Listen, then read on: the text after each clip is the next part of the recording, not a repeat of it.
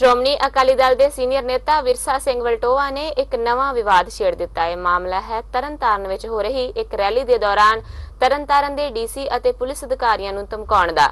ਜਿਸ ਦੀ video Facebook ਅਤੇ YouTube ਤੇ ਪੂਰੀ ਤਰ੍ਹਾਂ ਛਾਈ ਹੋਈ ਹੈ।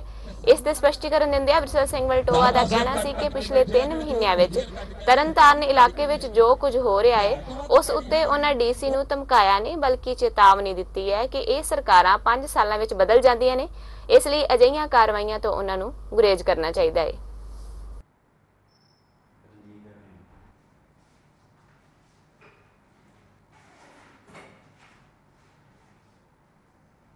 ਜਿੱਥੋਂ ਤੱਕ ਵੀਡੀਓ ਦਾ ਸੰਬੰਧ ਹੈ।